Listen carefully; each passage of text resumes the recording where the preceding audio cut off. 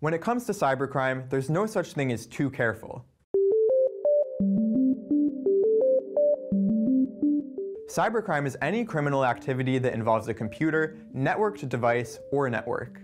Cybercriminals' goals are usually financially motivated. However, some cybercrime targets specific devices to damage or disable them, or to spread malware, illegal information, images, or other malicious material.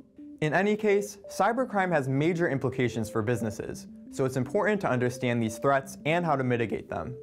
To dig deeper on all things cybersecurity, visit our dedicated site at the link above or in the description below.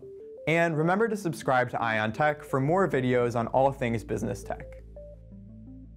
Today, just about everyone is connected to the internet, and the anonymity, speed, and convenience it provides has dramatically increased the volume of cybercrime activities. In other words, a criminal doesn't have to physically be present to commit a cybercrime, and just about anyone can be a cybercriminal.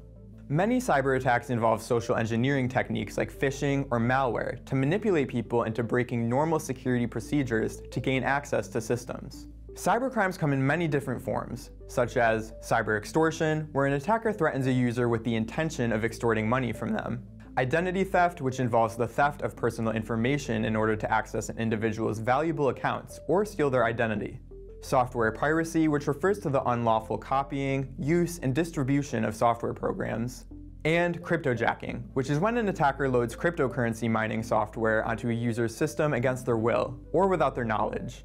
Cybercrimes typically have a financial impact on business. Cybercrime damages are expected to cost a total of $10.5 trillion annually by 2025.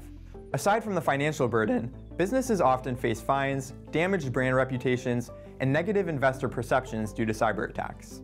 That said, prevention is key, and organizations should create incident response plans, use multi-factor authentication, and train employees on cybersecurity best practices to minimize potential damage.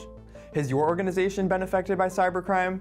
Share your experience in the comments, and remember to like and subscribe too.